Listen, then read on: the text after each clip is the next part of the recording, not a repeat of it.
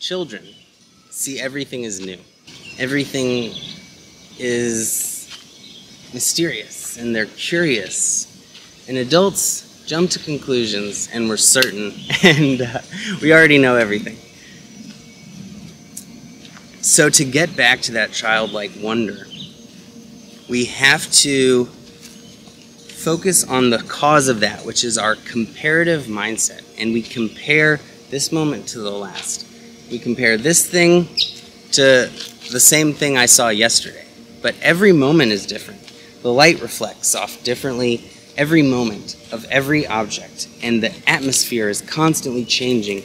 And there is a newness, but we have to get in touch with that subtlety and that curiosity. And we have to really practice being present because it's being present where there is no comparison to the past and where we aren't certain of everything that's going to happen. So many people are either optimists or pessimists, right? And whichever one they are, they're both certain that either something good or something bad's gonna happen. well, I'm an I don't knowist. and because uh, that's that's the truth that I've found is that we just don't know, and that when we jump to conclusions, when we panic, when we freak out because we think something bad's gonna happen, and then we find out oh, nothing, it's not so bad, or even if it was so bad, we can get through it. We're still have functioning brains and this moment needed this action and now this moment needs different action. And we can just be in the moment and responding in a more thoughtful and conscientious way. And we simply practice being present through meditation or through turning every activity into an opportunity to be mindful. And we can do that by occasionally not wearing headphones as we walk and listening to the full sounds that we hear on our walk. Or we could put the phone down on the train and just look around. You know, every single thing we do is either a practice to be mindful or a practice to be mindless. What are we practicing? When we brush our teeth and we're not present, when we get dressed but we're, we're just robotic. We are training ourselves to be mindless and not present and not focused.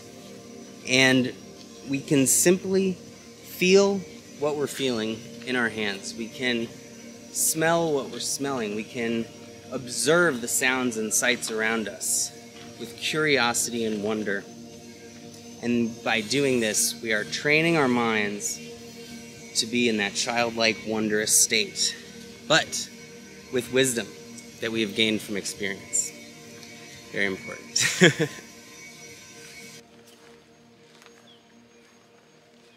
our mind is what often determines our focus. And the eyes see objects, the ears hear the sound. But it's a much subtler experience to see the space between the objects, to hear the silence that allows for the sounds we perceive to arise, which is always there underneath. Just like underneath whatever we're thinking, whatever we're feeling, there is a blank, empty, spacious stillness that allows for all of the variety of things to appear. And we have really disconnected ourselves from the subtlety, from our feeling, our intuition, our sensing. And this is because we've created hyper stimulating entertainment, food, etc. And so we've gone even further from that stillness and that peace that is always there. And so when we are constantly doing and interacting with that physical world. We're constantly reinforcing that focus. And so just simply allowing some spaciousness in our lives, closing our eyes, watching a sunset or the stars where we are literally looking out to infinity and tapping that spaciousness. We can begin to realize there is something between the false perception of separateness. And it's it's really easy. And once you know it's there, then you're always in touch with it. And you can be in the most chaotic situations or slowest traffic, loudest horns, and you can still realize that there is that silence that allows those car horns to be heard. And there is that space that allows for that traffic. And in simply expanding our perspective to the objects and the space, to the energy and the particles that make up our physical world, then we bring peace into the chaos. And if there was no silence, we would just be hearing all the noises at once, and we wouldn't be able to hear anything. And if there was no space, there would be no room to walk around, no place for the variety of forms to arise. And these are interconnected, and there is no barrier just because we we are not microscopic creatures able to see microscopic nuances and subtleties, but we know that every object is mostly empty space and is pure radiating energy out of every atom inside of it. And so we don't need to limit our perspective. We don't need to only believe in what we can see because we know there's so much more. And it's not delusion to broaden our perspective. In fact, it's where all wisdom arises.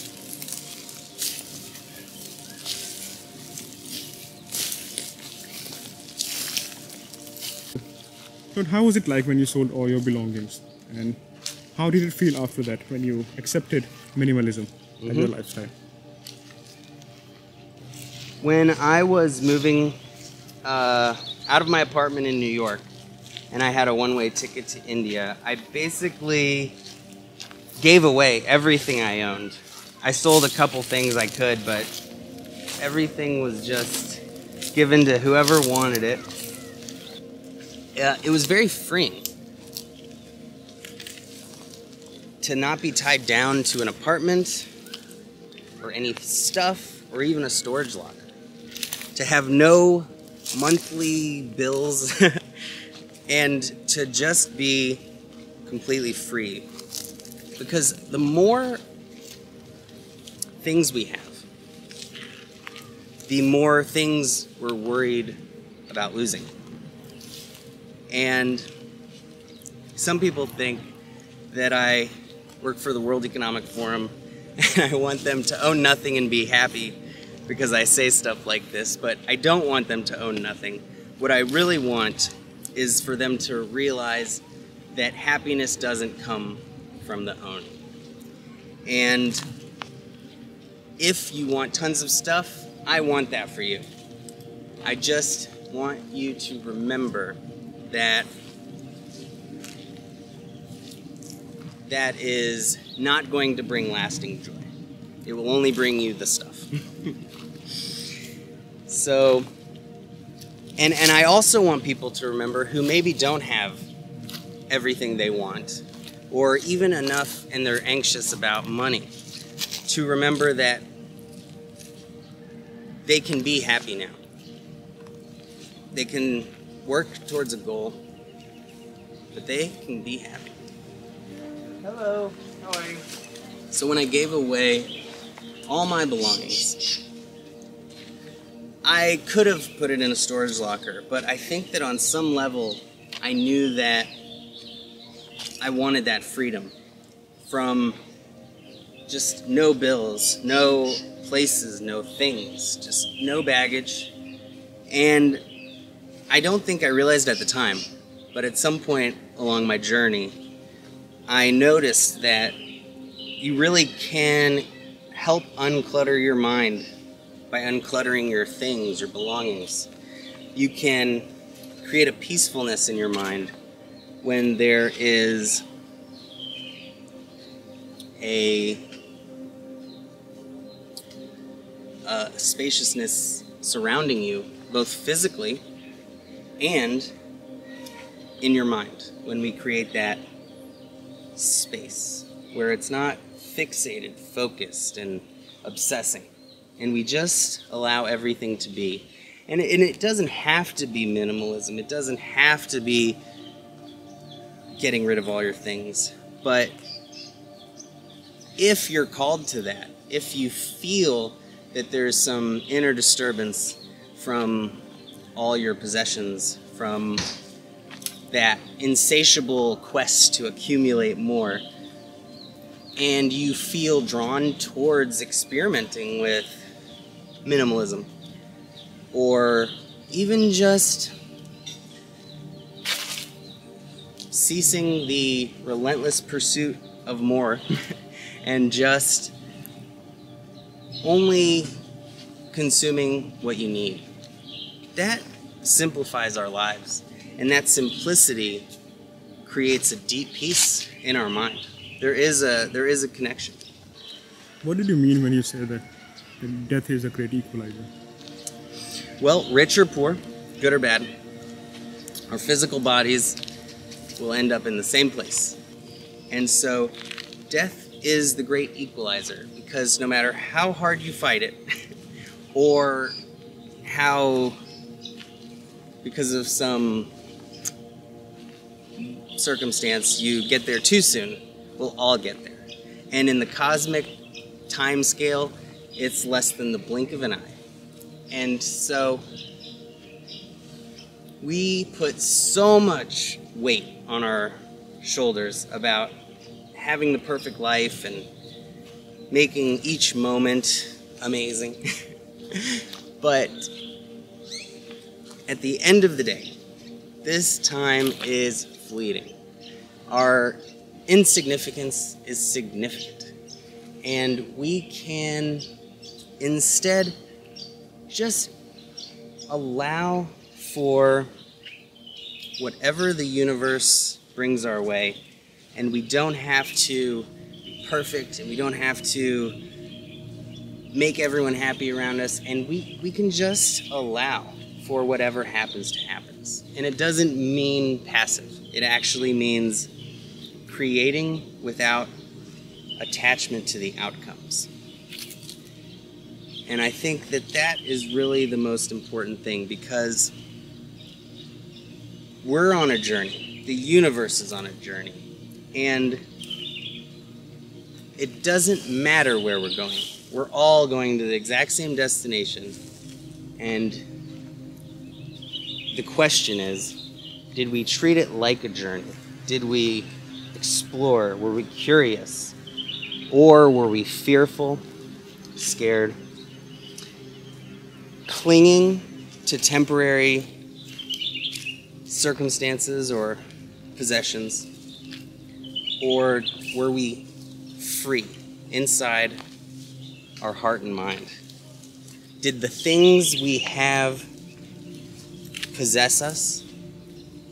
Or could we possess them and lose them with equanimity?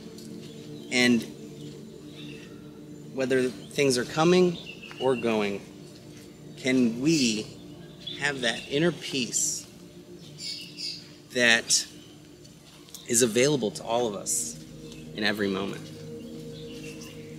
And I think that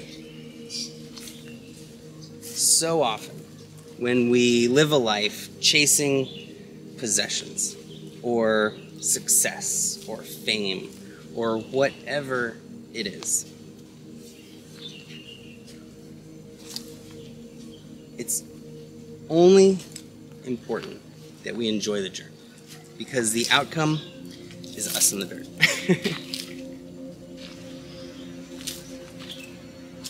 For me, when I was getting rid of all my possessions and I bought a one way ticket to India, I don't think I consciously realized it at the time, but on some level, I noticed that our jobs can be like chains, and our apartments are can be like prisons, and our possessions can be like this baggage that's just weighing us down. And all of that can lead to a life and a mindset that is not free. And because of this spiritual journey, because I was trying to free my mind and to completely put my trust in the universe and to just follow my heart and not my head like my shaman told me, I just did what felt right. And maybe on paper and maybe logically and maybe rationally, I should have gotten a storage locker. But uh, it felt very right in the moment to just shed every piece of property and possession I had and to fully embrace this lifestyle where I would not focus or fixate on material things and I would really tap into that spiritual dimension. So that was really the driving force, whether I was aware of it or not at the time. And it was the greatest decision I ever made, specifically because that one year trip turned into nine years. so that would be an expensive storage locker bill.